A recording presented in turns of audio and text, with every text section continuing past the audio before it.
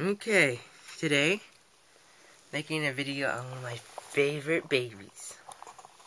This here is the PSP Sony testing tool. This thing's pretty sweet. Right here. Now the only thing that stinks is, just like my giant tool over here for the PlayStation 2, this sucker is supposed to have little, little, like, uh, it's hard to explain. Let me see. I'm sure most of you know the the little option thing you could with the PS2, the original ginormous fat PS2. How it, you could have like these blue fins sticking out, which raise it up a little bit and make it look fancier. Well, yeah, it's supposed to have sort of something like that, but it doesn't have it. But I'm not that mad because it doesn't really do anything besides serve an aesthetic, serve as aesthetics. So here's the front. Let's see. This is U UMD disk drive, so let's open it. There's the inside. Let's see. Can't really see because it's dark in there. Let's see what we got going on in the front. UMD DVD drive select. And then memory stick. Okay, now.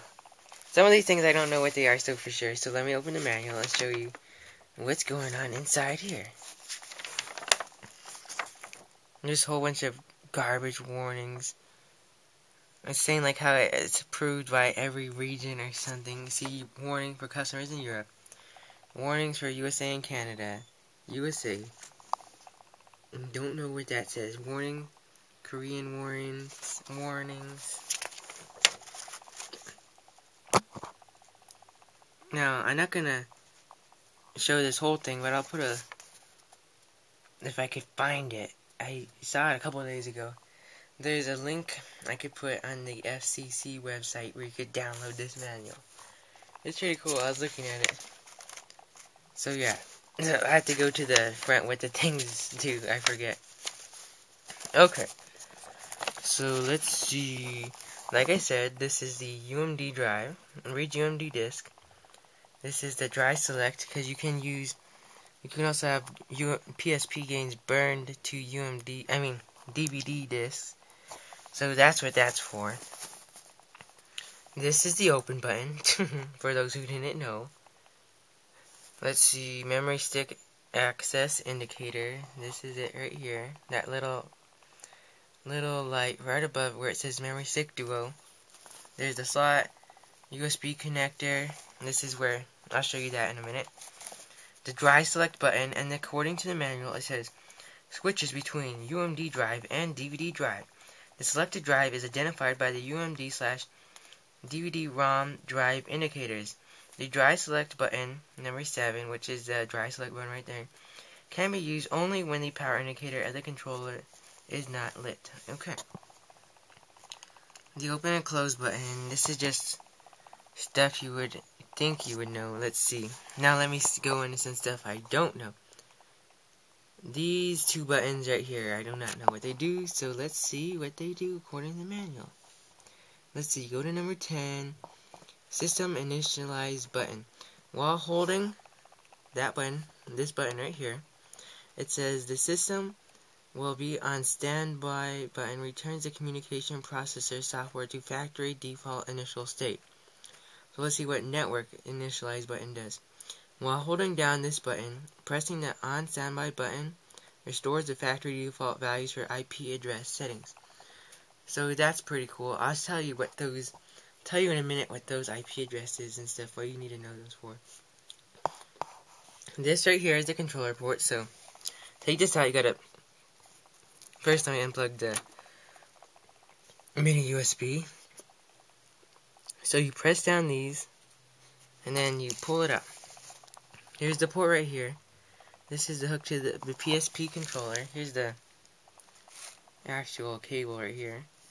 Let's see. See, it's got a little tie. It goes in here, then it turns into one big cable. So let me put that back real fast. It's hard to put this back sometimes. There we go. Let's see, put that back. Okay. Now let's see. Controller port, we just went over that. The GPIO indicator. This is the GPIO indicator right here. Now I do not know what these do either, so I'll tell you. These are eight indicators that are used that are user definable by PSP software developers, so probably won't be using those much. This right here is a headset connector, which on the PSP. Let's see. Let's see what these GPI switches do. It says the GPI switch. These are 8-tip switches that are definable by PSP software developers. Once again, here's like so. Here's a over little scan of the front of the system. So let's go. Ugh, almost well, okay. Here's the back. Let me bring the manual, because I don't know what some of the back stuff does either. Okay. So here's the antenna for the system, because the PSP hardware, I'll show you the controllers in a minute, is actually in this. The PSP controllers, all they have is the boards for the buttons and the screen. So let's see. Here's a fan. Let's see. One, aerial. This is it for wireless LAN use. There you go. That's the antenna.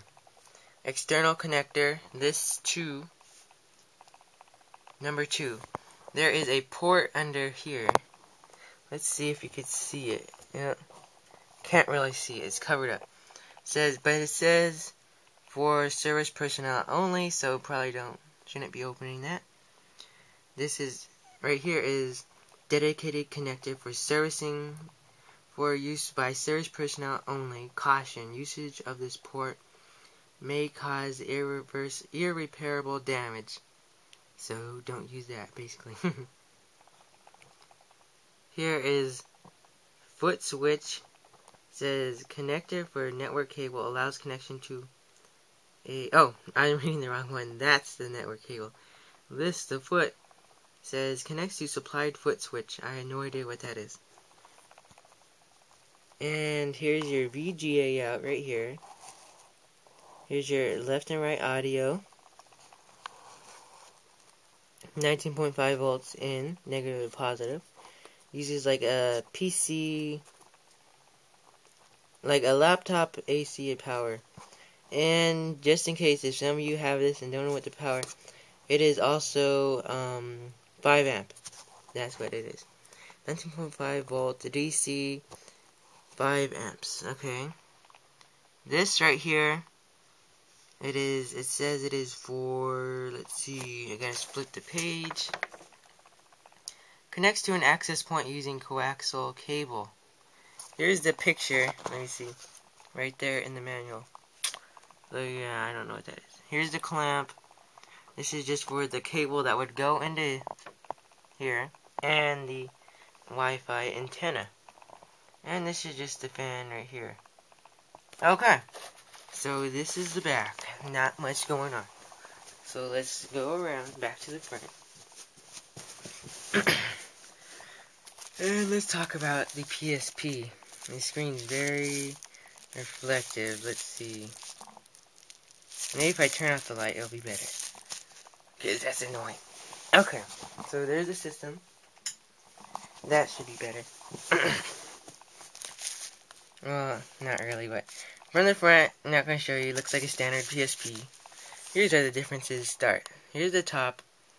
This is like a PSP 1000. It's got your, see if it'll focus. Not focusing right now. Uh, but let's see. This is like the top. There's no UMD drive because here's the back. It says controller. Let's see. There's the left switch again. There's the memory card switch. Which would be for... No, this is the wireless LAN. On and off. I don't know if it does anything, actually. Here's the on and off switch, which does work. Because in order to turn this on, first you must press the power button right there. Then you have to turn this on, flip this switch, then it will turn on. And then let's see the bottom. This is about the last difference. See right there, the audio headphone jack is missing. And that's it. It's very light also because a lot of the stuff is just inside this giant guy. Then I also have another one of these. This is in better shape because I think this is newer. I don't know. This has a higher serial number. I don't know what's with this one. But it feels heavier than this one. So maybe it's because it's newer. They added some junk. I don't know. So, oh yeah, and I remember now. I was going to show you. Hopefully next time if I get to turn this sucker on, I'll show you the coolness. Let's see. Setting up. This is where it gets cool. Because if you turn this thing on, let's see, you could hook this up straight up to an ethernet cable to your computer. Then you put in the IP address of this baby into your into your um, computer and it has its own little website. See, the standard IP address for all these is the same. The development tool, see. Hopefully next time I'll get to show you. I'd gladly show you. I want to see what it is too. So yeah. Let's see what it what the setup says. This is interesting. I never read this. This option allows users to modify settings. Hmm.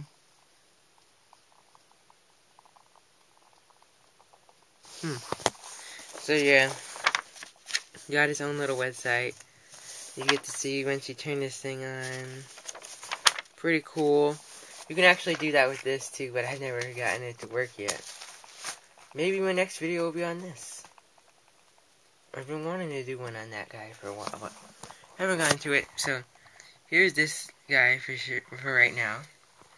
It is the just to show you the testing tool DTP 10 I mean DP dash T1000. So over and